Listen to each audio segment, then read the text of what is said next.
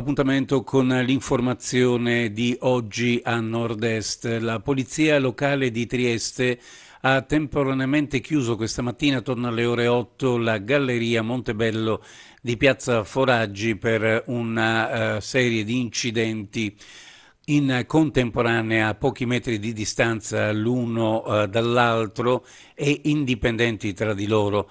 La galleria è stata poi riaperta attorno alle 8.40 una volta ultimati i rilievi.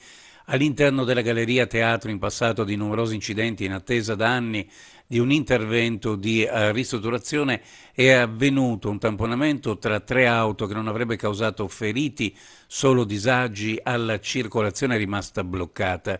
Nello stesso momento all'esterno in via Salata sono entrati in collisione un'auto e uno scooter. Il conducente del mezzo a due ruote è rimasto ferito anche se dalle prime informazioni raccolte le sue condizioni non sarebbero gravi. Sul posto, oltre ai sanitari del 118, sono intervenuti i vigili urbani per i rilievi e la regolazione del traffico che ha subito anche dei pesanti disagi. La galleria, ripetiamo, è stata chiusa dopo le ore 8 in entrambi i sensi di marcia per una quarantina di minuti. È arrivato nella pineta di Barcola, sempre a Trieste, si è tolto pantaloni e mutande e ha iniziato a barcollare tra gli alberi e il lungomare, creando non poco scompiglio tra le tante famiglie triestine presenti, tra cui molti bambini che si sono trovati davanti l'uomo completamente nudo e ubriaco, accanto agli indumenti a terra c'era una bottiglia di gin completamente svuotata. È accaduto eh, sul lungomare triestino dove sono intervenute due pattuglie dei carabinieri di Aurisina che hanno cercato di far rinsavire l'uomo e convincerlo a rivestirsi. Quando i militari hanno cercato di avvicinarsi per farlo coprire, però l'uomo ha iniziato ad aggredirli con spintoni, calci e sputi, motivo per cui i carabinieri sono stati costretti a immobilizzarlo e trarlo in arresto. Due carabinieri sono stati medicati al pronto soccorso per i colpi ricevuti, riportando lesioni lievissime, mentre il barcollante nudista, un cittadino libico di 33 anni richiedente protezione internazionale, è stato condotto al carcere del Coroneo secondo le prescrizioni del PM di turno, subito informato dell'accaduto. L'uomo dovrà ora rispondere di reati di violenza e resistenza a pubblico ufficiale, oltre che di atti osceni ed ubriachezza.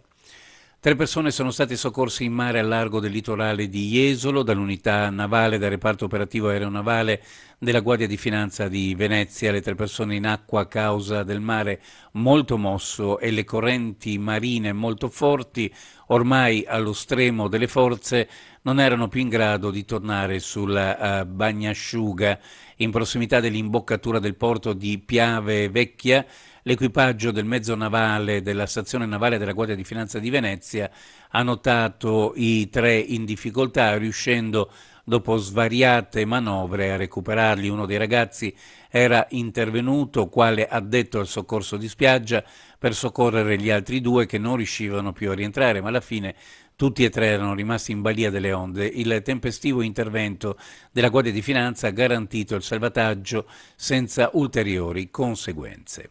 I vigili del fuoco del Comando Provinciale di Trieste sono intervenuti con la prima partenza il personale specialistico del nucleo SAF, speleo alpino fluviale in località Borgo Grotta Gigante a Trieste per il recupero di un cane caduto all'interno di una grotta.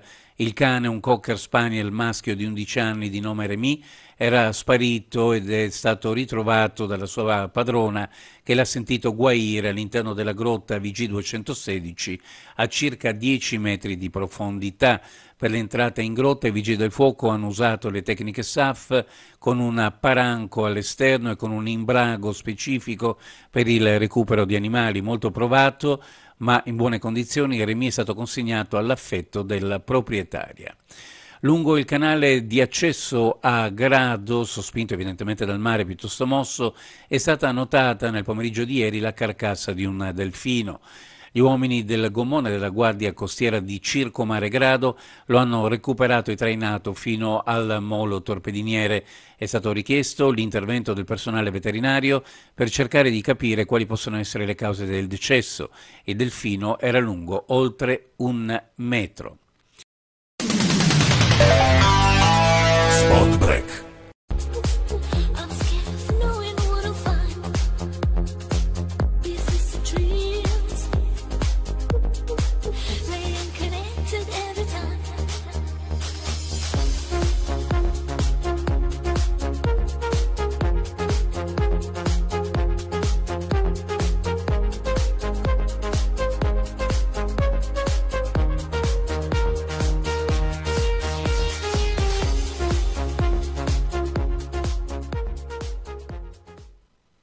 Sono 24.505 le richieste di contributo a fondo perdute giunte alla Regione Friuli Venezia Giulia per un fabbisogno totale di 29 milioni di euro destinati ai titolari di attività economiche per il ristoro dei danni causati dall'emergenza Covid-19 e il bilancio del provvedimento messo in atto dalla Giunta regionale illustrato dall'assessore alle attività produttive e turismo Sergio Emidio Bini alla seconda commissione consigliare.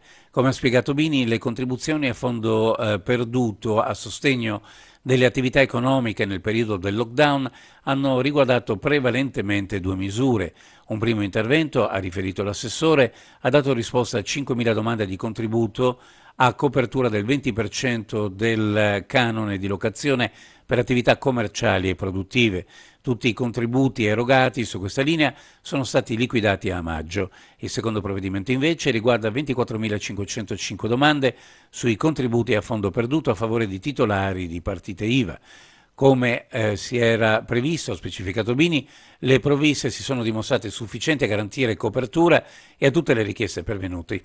Cioè è stato possibile grazie all'incrocio puntuale di tutte le banche dati per stimare la platea dei possibili beneficiari. Allo stato attuale 29 milioni di euro di contributi da erogare. È stata la linea marittima Grado Trieste, servizio estivo di TPL FVG, fino a mercoledì eh, 2 settembre riattivata, possibile raggiungere le spiagge dell'isola d'Oro o andare alla scoperta della città di Trieste anche portando a bordo la propria bicicletta. Lo ha reso noto la società di trasporti. Il servizio svolto con la motonave del Fino Verde Deluxe si effettua dal martedì alla domenica con due partenze giornaliere da Trieste e due da Grado. Per viaggiare sulla motonave, ricorda TPL FVG, valgono le regole per l'accesso a tutti i mezzi di trasporto pubblico, divieto di salire a bordo con sintomi di infezioni respiratorie acute o febbre, obbligo di eh, indossare la mascherina e rispetto del distanziamento. In caso di condizioni meteorologiche o marine avverse che impediscono la partenza della motonave, il servizio è comunque garantito attraverso un autobus sostitutivo dotato di eh, carrello portabici.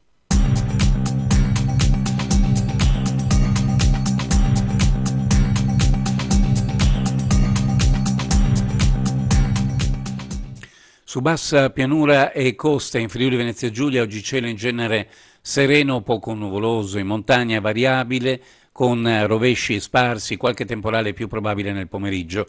Non è escluso qualche temporale anche in pianura, caldo afoso in pianura dal pomeriggio, brezza sulla costa.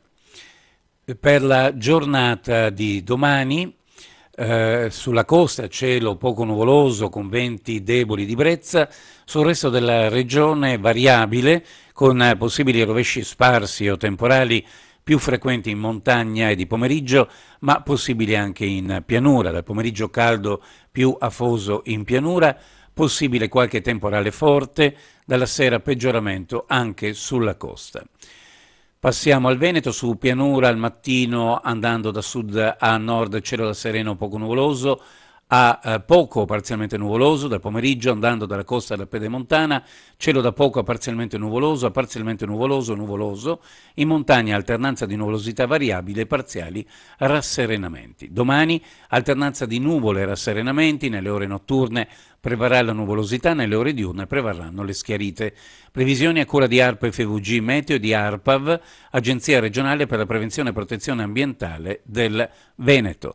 Per il momento dal nord-est è tutto, appuntamento alla prossima edizione.